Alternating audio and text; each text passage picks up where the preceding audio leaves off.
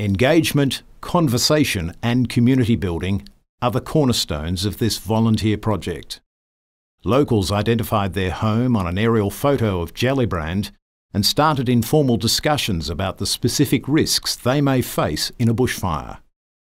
The visual representation of each household's risk, based on the surrounding environment, is a very real way to get people talking about fire in a community context. And now everyone in the town knows where vulnerable members of their community live. They eventually plan to make their map available to community members for ongoing engagement and education, as well as to relevant local stakeholders such as the CFA, DSE, the Colac Otway Shire, and the Gellibrand Community House.